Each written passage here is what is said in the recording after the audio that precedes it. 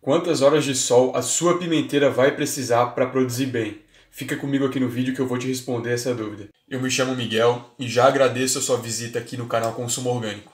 Para responder a sua pergunta, eu já vou começar a dizer que o ideal para pimenta é sol o dia inteiro.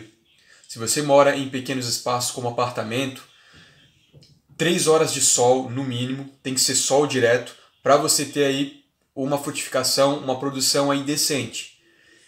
Se você mora em casa, tem o seu sítio, coloca aí nos locais onde mais bata sol.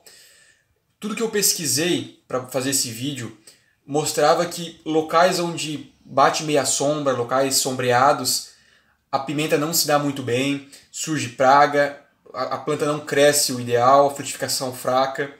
Então, se você mora em apartamento, procure também o local onde mais bata sol, lugar onde o sol invada com facilidade.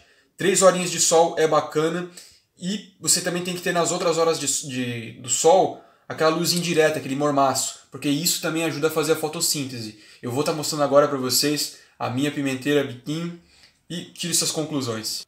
Então, galera, eu tive uma colheita faz mais ou menos duas semanas e já tinha alguma floração, né?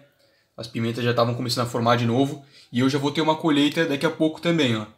Notem que tem, a floração já está começando tem bastante pimentinha aí e o negócio agora é esperar dar uma, uma mudada nessa cor e fazer a colheita. Espero ter sanado a dúvida de vocês quanto ao tempo da pimenta.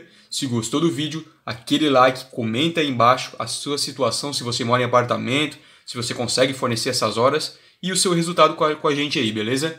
Se inscreva no canal e assine o sininho de notificações. Um abraço e até o próximo vídeo.